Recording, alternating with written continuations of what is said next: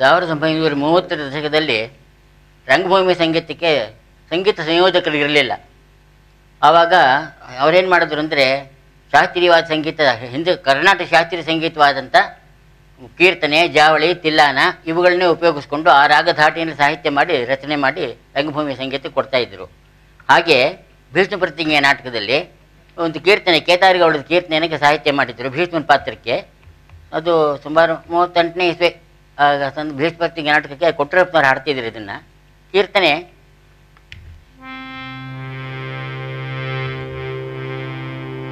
ವನದ ನಯನ ನುಡಿ ಅಂಥೇಳಿ ಆ ಸಾಹಿತ್ಯ. ಅದಕ್ಕೆ ಕನ್ನಡ ಸಾಹಿತ್ಯ ನಾಟಕಕ್ಕೆ ರಚನೆ ಮಾಡಿದರು. ಅದನ್ನು ಹಾಡ್ತಿದ್ದೇನೆ ಗುರುವರ ಕರುಣಿಸ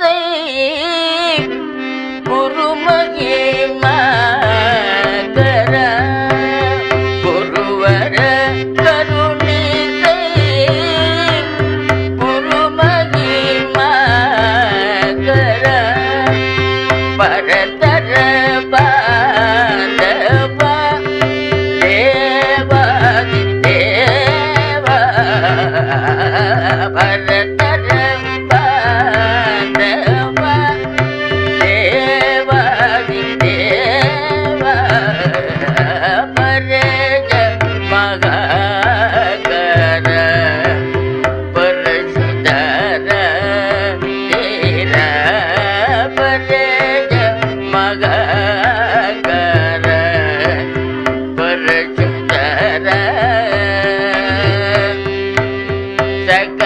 மன்ற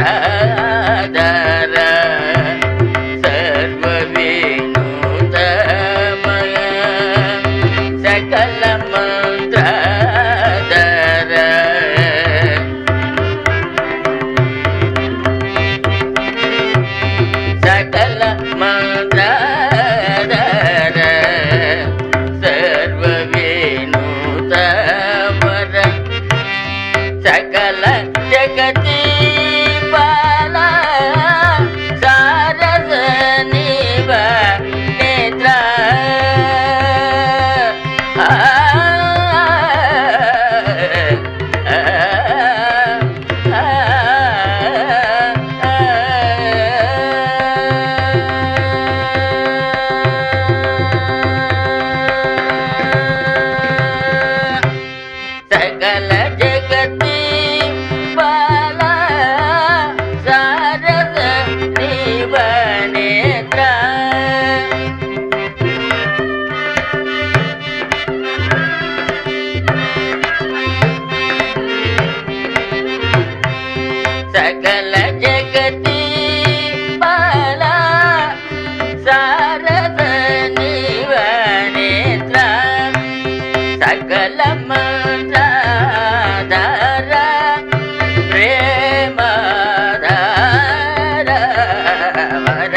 సకల మంత్రాధర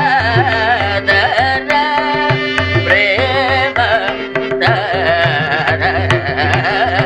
పరే మగర పరచుతర పరే మగర పరచుతరా